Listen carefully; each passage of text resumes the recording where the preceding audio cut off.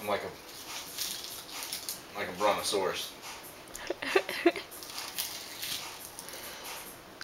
One of the weirdest things I've ever seen. You don't even want to put dressing on it. Did you even wash that?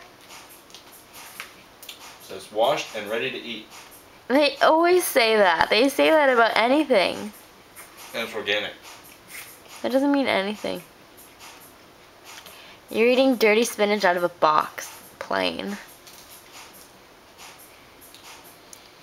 Better than eating some dirty box full of spinach.